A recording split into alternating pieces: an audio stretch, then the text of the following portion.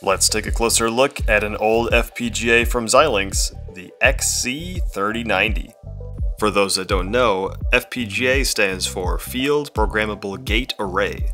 Essentially, it's an array of logic gates that can be programmed to make any circuit, as long as the circuit can be made with the total number of logic gates available.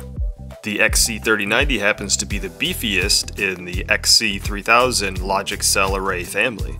The logic gates are arranged in configurable logic blocks, of which the XC3090 has 320. On this device, the CLBs are arranged in a grid of 16 by 20. Depending on the circuits being implemented, different CLBs will be connected to one another.